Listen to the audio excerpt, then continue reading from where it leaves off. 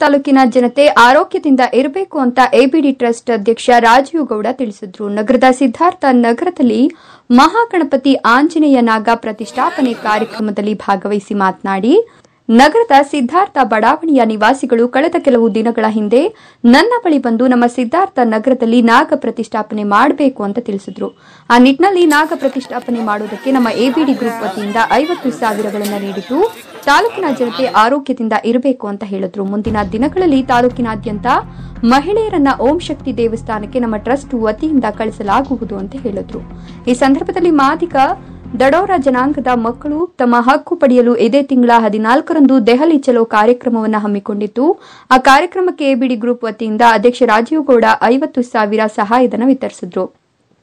ಇದೇ ಸಮಯದಲ್ಲಿ ತಮಿಳುನಾಡಿನ ಕೂನೂರಿನಲ್ಲಿ ಸೇನಾ ಹೆಲಿಕಾಪ್ಟರ್ ಪತನದಲ್ಲಿ ರಕ್ಷಣಾ ಪಡೆಗಳ ವರಿಷ್ಠ ಜನರಲ್ ಬಿಪಿನ್ ರಾವತ್ ಹಾಗೂ ಹಿರಿಯ ರಕ್ಷಣಾಧಿಕಾರಿಗಳು ಪ್ರಯಾಣಿಸುತ್ತಿದ್ದು, ಹೆಲಿಕಾಪ್ಟರ್ ಪತನಗೊಂಡಿದ್ದು ಹದಿಮೂರು ಮಂದಿ ಸಾವನ್ನಪ್ಪಿದ್ದಾರೆ. ಇವರ ಆತ್ಮಕ್ಕೆ ಶಾಂತಿ ಸಿಗಲಿ ಅಂತ ಎರಡು ನಿಮಿಷಗಳ ಕಾಲ ಮೌನಾಚರಣೆ ಮಾಡಿದ್ರು.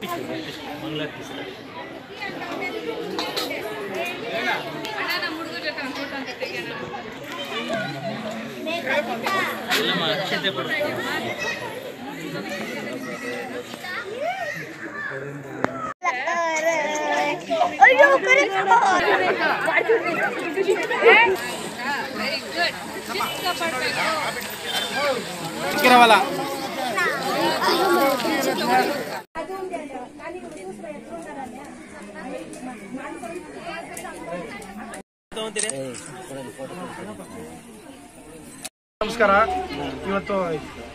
ಏನಿವತ್ತು ನಾಗರದ ಪ್ರತಿಷ್ಠಾಪನೆ ಇಟ್ಕೊಂಡಿದ್ವಿ ಇಲ್ಲಿ.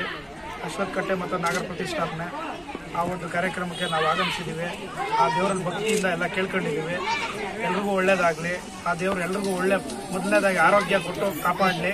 ಎಲ್ಲರೂ ಆರೋಗ್ಯ, ಐಶ್ವರ್ಯ, ಆರ್ಥಿಕ, ಆರ್ಥಿಕವಾಗೂ ಕೂಡ ಎಲ್ಲರೂ ಸಮೃದ್ಧಿಯಾಗಿರಲಿ ಅಂತ ಭಗವಂತನ ನಾನು ಕೇಳ್ಕೊಂಡಿದ್ದೀನಿ.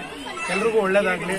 ಹಾಗೆ ಇಲ್ಲಿಂದು ಈ ವಿಚಾರದಲ್ಲಿ ಹೆಣ್ಮಕ್ಳಿಗೂ ಕೂಡ ಓಂ ಶಕ್ತಿಗೆ ಹೋಗೋದಕ್ಕೆ ಒಂದಷ್ಟು ವ್ಯವಸ್ಥೆ ಮಾಡಿಕೊಡ್ತೀವಿ ಅಂತ ಹೇಳಿದ್ವಿ. ಒಂದಷ್ಟು ಜನ ಬಂದು ಕೇಳಿದ್ದಾರೆ. ನಮ್ಮ ಕಡೆಯಿಂದ ಈಗ ತಾಲೂಕಿನಾದ್ಯಂತ ಒಂದು ಪ್ರೆಸ್ ಪ್ರೆಸ್ ಮೀಟ್ ಕರೆದು ಅನೌನ್ಸ್ ಮಾಡೋಣ ಅಂತಿದ್ದೀವಿ. ಒಂದೆರಡು ದಿನದಲ್ಲಿ ಹೇಳ್ತೀವಿ. ಒಂದು ದಿನಾಂಕನೂ ನಿಗದಿ ಪಡ್, ನಿಗ- ನಿಗದಿ ಮಾಡ್ತಾ ಇದ್ದೀವಿ. ಪ್ರತಿಯೊಂದು ಹಳ್ಳಿ ಹಳ್ಳಿಗೂ ಯಾರು ಓಂ ಶಕ್ತಿಗೆ ಹೋಗ್ತಿದ್ದಾರೆ ಅಂಥವ್ರಿಗೆಲ್ಲ ಬಸ್ಸಿನ ವ್ಯವಸ್ಥೆ ಕೂಡ ಕಲ್ಪಿಸ್ಕೊಡ್ತಾ ಇದ್ದೀವಿ. ಈ ಕೋಡ್ ಆಫ್ ಕಂಡಕ್ಟ್ ಇತ್ತು ಅನೌನ್ಸ್ ಮಾಡಬಾರ್ದು ಅನ್ನೋದಕ್ಕೋಸ್ಕರ ನಮ್ಮ ತೊಂದರೆ ಆಗ್ಬೋದೇನೋ ಅಂತ ಅದಕ್ಕೆ ಅನೌನ್ಸ್ ಮಾಡಿರಲಿಲ್ಲ. ಕೋಡ್ ಆಫ್ ಕಂಡಕ್ಟ್ ಮುಗಿತಿರೋಂಗೆ ಅನೌನ್ಸ್ ಮಾಡ್ತೀವಿ. ಹೋಗುವಂಥ ಎಲ್ಲ ಭಕ್ತಾದಿಗಳು ದೇವಸ್ಥಾನಕ್ಕೆ ಹೋಗಿ ಬರ್ಬೋದು. ಅದೇನಿದೆ ಖರ್ಚು ವೆಚ್ಚಗಳು ನಾವೇ ಬರೆಸ್ಬೇಕು ಅನ್ಕೊಂಡಿದ್ವಿ ಮಾಡ್ತೀವಿ ಕೂಡ. ಈಗಾಗಲೇ ದೇವಸ್ಥಾನಗಳಿಗೆ ಎಲ್ಲೆಲ್ಲಿ ನಾವು ಮಾತು ಕೊಟ್ಟಿದ್ದೀವಿ ತಾಲೂಕಿನಾದ್ಯಂತ, ಪ್ರತಿಯೊಂದು ದೇವಸ್ಥಾನಗಳಿಗೂ ಎಲ್ಲೆಲ್ಲಿ ಮಾತು ಕೊಟ್ಟಿದ್ದೀವೋ ಅಲ್ಲಿ ಹೋಗಿ ಏನೋ ನಮ್ಮ ಶಕ್ತಿಯ ಶಕ್ತಿ ಮೀರಿ ಎಷ್ಟಾಗುತ್ತೋ ಅಷ್ಟು ಸಹಾಯ ಮಾಡ್ತಿದ್ದೀವಿ. ಯಾರಾದರೂ ಈಗ ದೇವಸ್ಥಾನ ನಾವೆಲ್ಲಿ ಮಾತು ಕೊಟ್ಟಿದ್ದೀವಿ, ಆ ಊರಿನ ಮುಖಂಡರಿರ್ಬೋದು ಪ್ರಮುಖರಿರ್ಬೋದು ಬಂದ ನಮ್ಮನ್ನ ಕಾಂಟ್ಯಾಕ್ಟ್ ಮಾಡಿ, ಆ ಊರಿನ ದೇವಸ್ಥಾನಕ್ಕೆ ನಮ್ಗಳು ಒಂದು ಸೇವೆ ಸಲ್ಲೋಂಗ್ ಮಾಡ್ರಿ. ಏನು ಹೇಳಿದೀವಿ ಆ ಮಾತು ಪ್ರಕಾರ ನಾವು ನಡ್ಕೊಳಕ್ ರೆಡಿ ಇದ್ದೀವಿ. ಧನ್ಯವಾದಗಳು.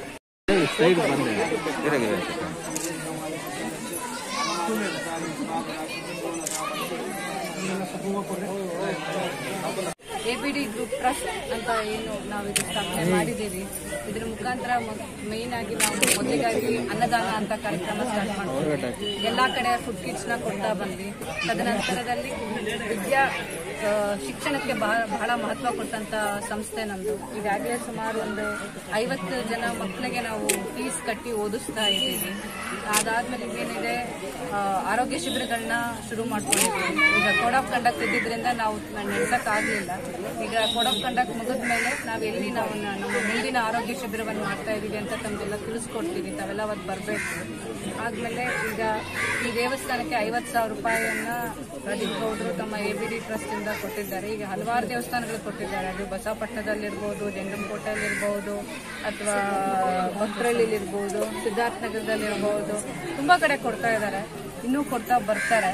ತಮ್ಮೆಲ್ಲರ ಪ್ರೀತಿ, ವಿಶ್ವಾಸ ರಾಜೀವ್ ಗೌಡ್ರ ಮೇಲೆ ಹೀಗೆ ಇರಬೇಕು. ಒಬ್ಬ ಯುವ ನಾಯಕನ್ನ ತಾವೆಲ್ಲ ಮನದುಂಬಿ ಹಾರೈಸಿ ಬೆಳೆಸಬೇಕು ಅಂತ ಈ ಮಾಧ್ಯಮದ ಮುಖಾಂತರ ಪ್ರತಿಯೊಬ್ಬ ಶಿಡ್ಲಘಟ್ಟ ಜನತೆಯಲ್ಲೂ ಕಳಕಳಿಯಾಗಿ ಕೇಳ್ಕೊತಾ ಇದ್ದೀನಿ. ದಯವಿಟ್ಟು